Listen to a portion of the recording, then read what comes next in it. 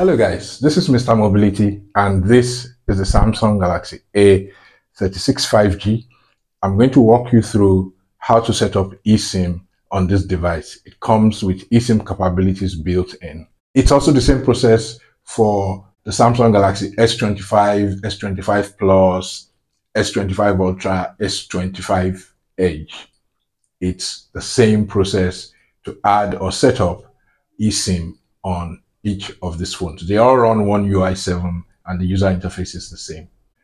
First thing I need you to note is that if you're setting up the eSIM, you're going to give up one of the dual nano SIM slots.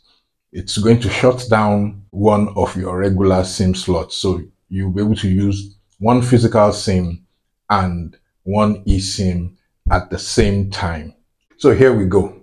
You go to your settings, connections, and then SIM manager. Down here, you see add eSIM. Tap on that.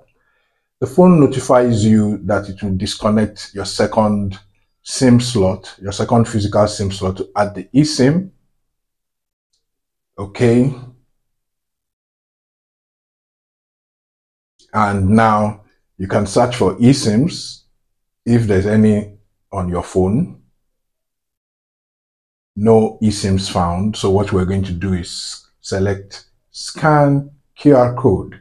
Now, you can also manually enter the activation code. Usually your network provider or carrier will send you a QR code along with an activation code. So you can do the scan thing or you can enter the activation code manually. I have a QR code here and there you go. Checking SIM information. Now, in this case, this is an eSIM that I have already used on another phone. I'm just demonstrating to you the process. This is another eSIM I have already used on another phone.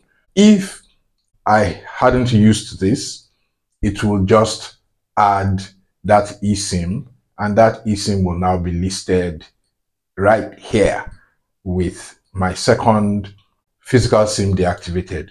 And then your eSIM signal will show up here and just start using that line as you would any normal line. I hope this helps. If you run into any problems that you think I might be able to help or you have any questions that you think I might be able to provide answers to, leave me a comment below. I'll see you in my next video.